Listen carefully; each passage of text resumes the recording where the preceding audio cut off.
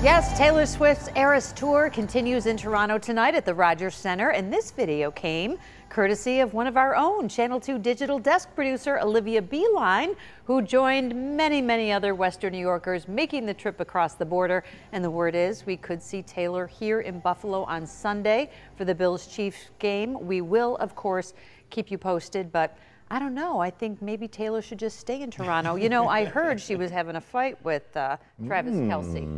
Kelce. So maybe she'll just blow him up.